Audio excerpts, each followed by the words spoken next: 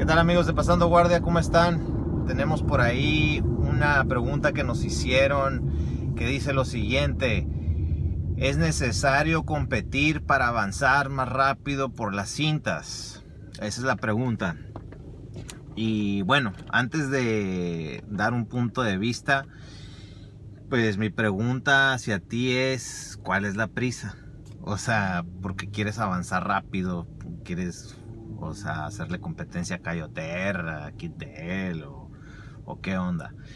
Ah, creo que no debe de haber ninguna prisa.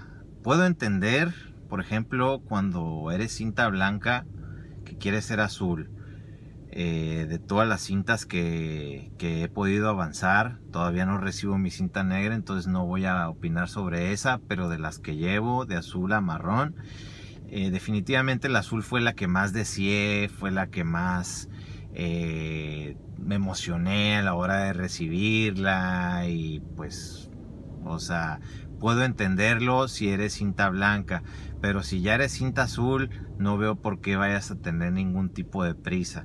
Acuérdate que vas a ser cinta azul, morada o café o blanca una vez en la vida. Ser cinta blanca es bonito porque pues ahora sí que se estimula mucho tu mente porque haces cosas que nunca has hecho y ser malo es bueno, es bueno para, para hacer, tu, hacer ser humilde porque hay gente allá afuera que pues, es muy chingón en lo que hace y todo el rollo y va caminando como si no le apestaran los pedos pero llega y hace jiu-jitsu y es cinta blanca y y está el otro que es cinta azul, cinta morada y le pone una friega y puedo entender, es un destruye muchos egos, entonces es un proceso del ser cinta blanca, debes de disfrutar ese ser cinta blanca.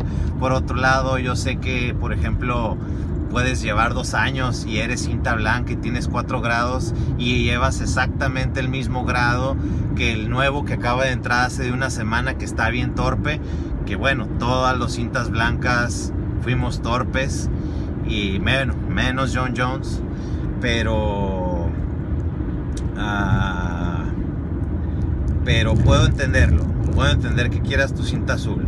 Ahora, eh, no debes de compararte con el camino de nadie. O sea, nada de que es no, pero yo le gano a él, que lo sometí el otro día dos veces y a él ya le dieron el azul y a mí no me la han dado y está esta otra persona que yo también le gano y él va menos a clase que yo y a mí no me la dan, ya traen algo en contra de mí el profesor, estoy pensando en cambiarme de academia. O sea, debes de confiar en tu profesor el por qué estás ahí. O sea, tal vez tú no te das cuenta, pero tal vez eh, a ese el que le ganas usas un montón de fuerza y no usas técnica y, y por eso tal vez no te avanzan a, la otra cinta. Eh, tal vez el que ya ah, avanzó en cinta azul, aunque vaya menos que tú, tal vez es un señor de 40 años que tiene tres hijos, tiene una empresa, su trabajo le exige mucho y hace el tiempo que puede y, pues a los ojos de, tu maestro tal vez se lo merece porque todos son diferentes, todos los caminos son diferentes, entonces no te estés comparando. Ahora, pasando a lo otro, ¿por qué los, los que compiten avanzan más rápido? Pues por una sencilla razón. Si vamos a decir que tú entrenas de lunes a viernes dos horas desde que entras hasta que te vas, estás haciendo 10 horas. Por lo general un competidor entrena más de una vez al día, o sea que entrenó cuando tú fuiste, que son 10 horas, probablemente hizo otra sesión en la mañana, ya son 20, probablemente se puso a hacer drills, probablemente ya hizo pesas, entonces si está entrenando tres veces más que tú, ¿por qué no habría de avanzar más rápido que tú? ¿Ok? Las horas del tatami cuentan. Eh, ahora, otro punto también es de que no todo es competencia. El jiu-jitsu va más allá de las medallas y de los podios. Eh, el jiu-jitsu es un arte marcial, es un arte donde aprendemos valores, aprendemos honor, aprendemos muchísimas lecciones que destruyen egos, que te hacen una mejor persona, que te hacen más noble. Entonces, eh, va más allá de eso. Si tú consideras que la competencia no es lo tuyo, no tienes la obligación de hacerlo. Eh, yo he conocido, por ejemplo, muchos que no compiten y que son muy buenos y que ponen en aprietos a esos que sí compiten, pero pues deciden que la competencia no es lo suyo. Entonces, ah, en lo personal sí lo recomiendo el competir, aunque sea, pues hasta que tú decidas, sabes que ya más o menos entiendo lo que es, y si tú decides que no es lo tuyo, está bien, no lo necesitas hacer. Yo lo considero que sí es bueno que lo hagas. Eh, por ejemplo, mi primera competencia la hice como, bueno, la iba a hacer como cinta blanca y yo iba muy seguro de mí, tenía experiencia en grappling, había hecho MMA, había entrenado, entonces dije, ¿sabes qué? Este, no, hombre, pues yo voy a llegar y voy a partir madres al torneo este, ¿no? Y pues tómala que faltando tres días mi profesor me sorprende con la cinta azul y pues sí me emocioné obviamente porque pues ya lo había soñado por mucho tiempo pero pues tuve que hablar, cambiarme de categoría y para mi suerte pues resulta que me ponen con el que quedó campeón, un, tipo que pues actualmente sigue siendo un buen competidor. Y este en ese tiempo yo llegué pues con mi cinta azul dobladita, todavía se le veían ahí los dobleces, vi la cinta azul de él y pues una cinta azul viejísima con los que ya le había puesto otra vez los grados porque ya se le habían caído. Y pues como era de esperarse me puso una friega. Eh, yo le había dicho a la novia que tenía en turno, no hombre, vas a ver más heroico, me voy a ver todavía recién graduado y ganando, no, cuál, tómala, me durmió. Bueno, no me durmió completamente de que no me tuvieron que levantar los piecitos, pero eh, sí llegué a ver el túnel, ¿no? Y pues, ¿sabes que Fue una gran lección de humildad.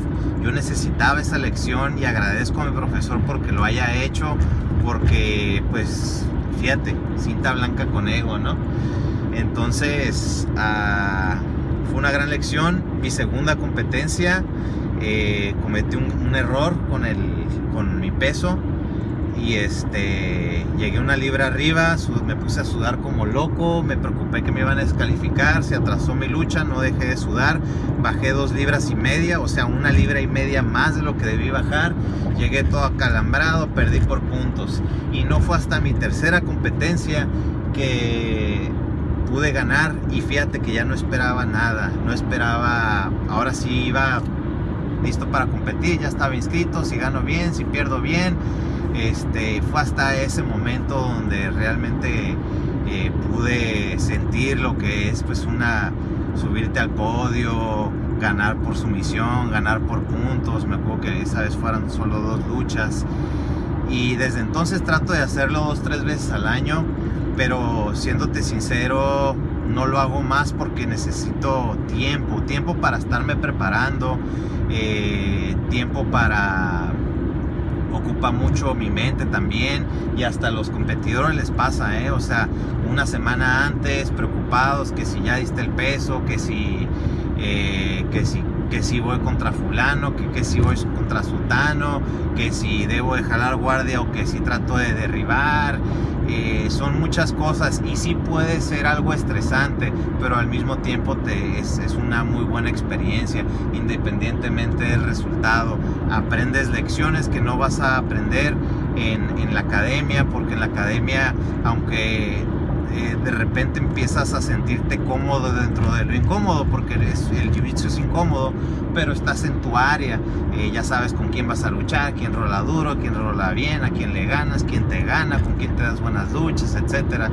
Entonces, ah, ya para terminar, nos queda menos de un minuto. No, no tengas prisa, disfruta tus cintas, porque ya no las vas a volver a vivir. Y este y no estés preguntando que si cuando mi otra cinta o lo que sea, o sea, si lo haces es porque amas el arte, porque lo disfrutas, no eres un niño, supongo, de 5 años que necesita ver de repente los grados para sentirse motivado. Eh, si lo haces es porque lo disfrutas, ¿ok? Así que bueno, ya se me acabó el tiempo. Eh, igual sigan mandando temas, yo daré mi humilde opinión de lo que sea. Eh, para eso estamos, así que nos vemos pronto. Vos.